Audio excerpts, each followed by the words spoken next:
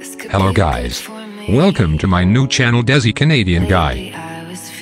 Today I will talk about a big mistake that new students do in Canada.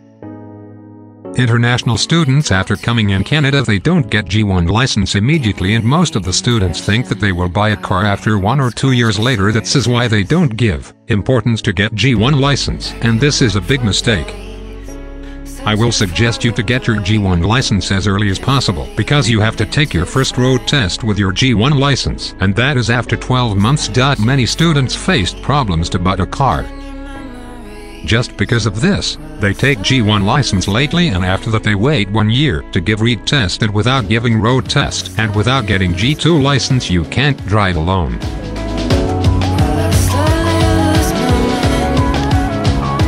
So if you don't take it early then it will take more time you will have to start from the beginning. With G1 license you can drive and practice with an experienced driver. I know most of the international student don't want to buy a car because if they buy a car then their expenses will increase and that is absolutely okay. And I'm not telling you to buy a new car immediately. You just get a license and then buy a car when you are okay with having a car.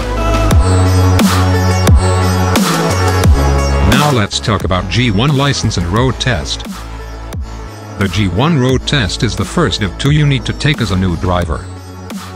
You can take your first road test after 12 months with a G1 license.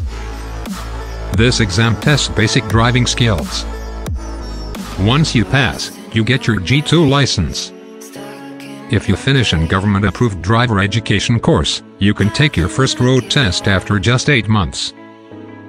By law, when you have a G1 license, you must maintain a zero blood alcohol level. Make sure every passenger with you wears a properly working seat belt. Not drive between midnight and 5 a.m. Drive with a fully licensed driver who has at least 4 years of driving experience. A blood alcohol level of less than 0.5. The driver accompanying you must be the only other person in the front seat. If you are driving with a driver instructor certified in Ontario, you can drive on any road. In most cases, you practice with your G1 license for 12 months. So guys after coming Canada you should get your G1 license within 1-2 months it will save your time to get G2 license and buy a car. Thank you guys for watching my video. Please subscribe my channel.